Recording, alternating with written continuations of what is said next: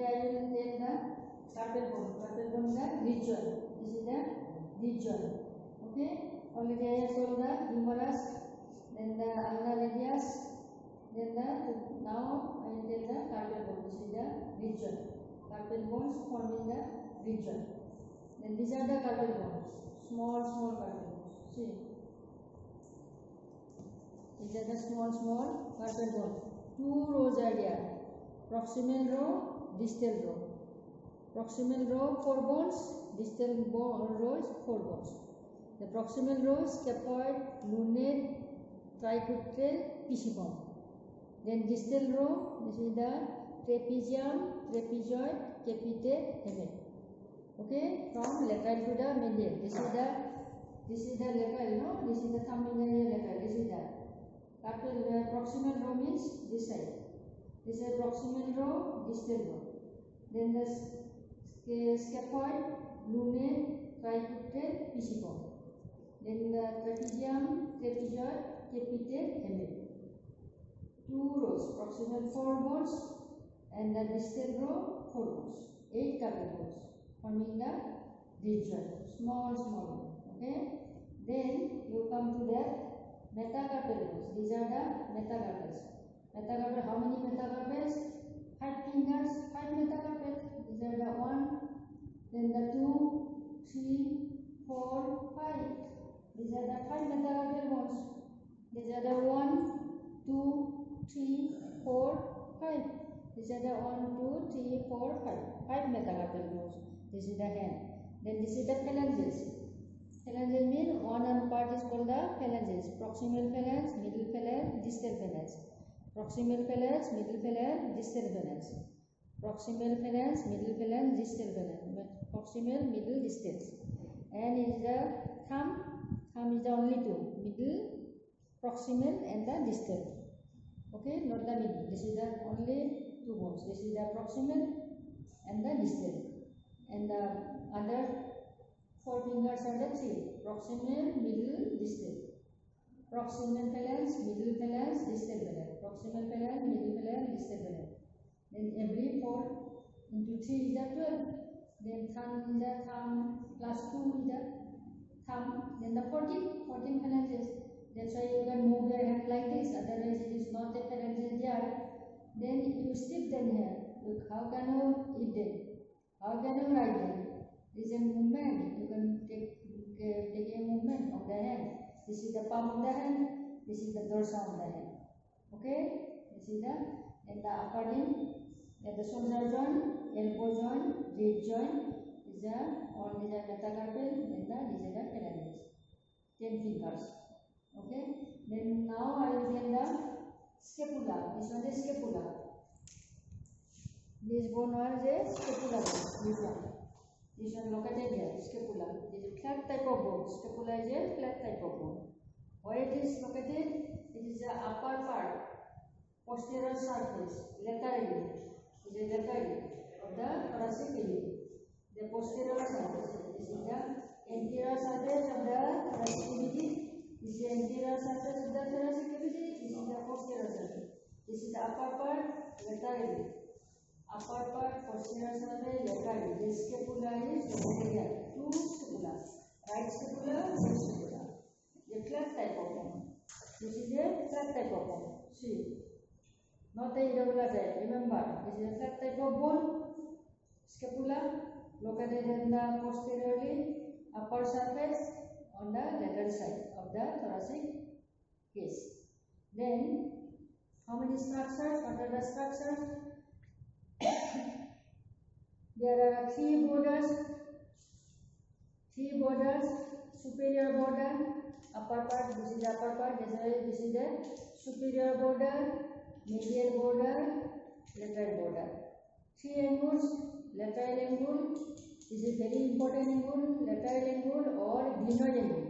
G-L-E-N-O-I-D, glenoid angle or glenoid cavity, very much important because head of the humerus is there, already I told, then the head, this is the head of the humerus, humerus is articulated here, forming the what joint?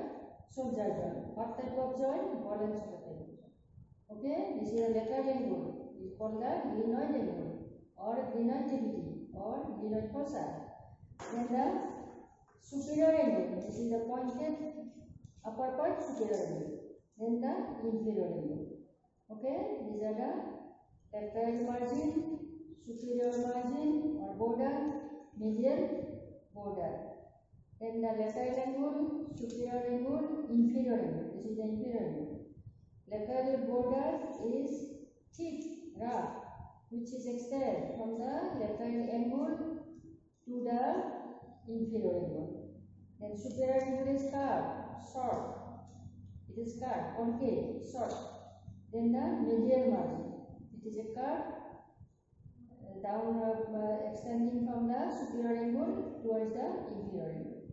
Then two surface, anterior surface or posterior surface. This is the dorsal surface or posterior surface. Why it is called the posterior surface? Because anterior surface is directly attached to the ribs. These are the ribs, upper part of the ribs, directly attached to the ribs. That's why it called the posterior surface. And posterior surface. This is the posterior surface slightly convex. Anterior surface slightly, slightly concave. Okay, and posterior surface and divided into two parts.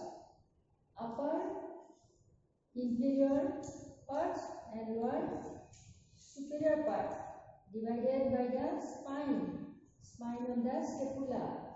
Because scapula has three processes. Spinous process this one spinous process then the acromion process and the coracoid process the spinous process divide the dorsal surface of the scapula into two parts this is the upper part smaller size. It is the infraspinous. The lower part bigger size. They are called the infraspinous. This is the supraspinous. Not the infraspinous. This is the supraspinous superior part, smaller part and inferior part in the bigger size infraspinous. Because spine is there, that's why infra. Below the spine is called the infraspinous. Above the spine is called the infraspinous. Dorsal surface is divided two parts, remember. And posterior surface or anterior surface is directly attached to the ribs. Upper part of the ribs is attached. That's why it is called the posterior surface. Then the spine. This is the spine of the scapula, triangular area. It has two surfaces, superior surface, inferior surface. Anterior border, posterior border. This is the spinous, triangular area. Then the acromion process, this is the part round.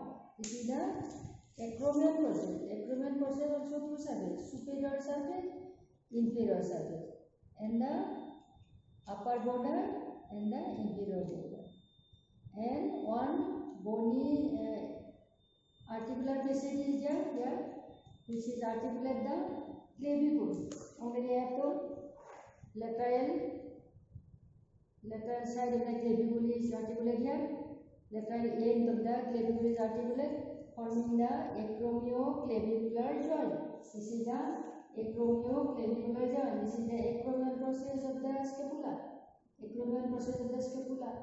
And this is the lateral end of the clavicule. The articulate here and forming the acromioclavicular joint. Okay, understood?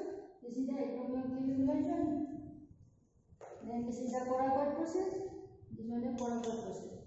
Okay. Then this is the glenoid angle.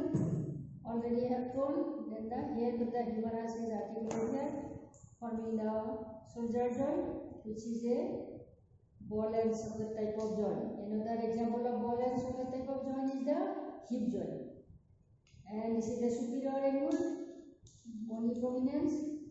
Some muscles are attached. Then the inferior angle some two muscles are attached. Okay, this is the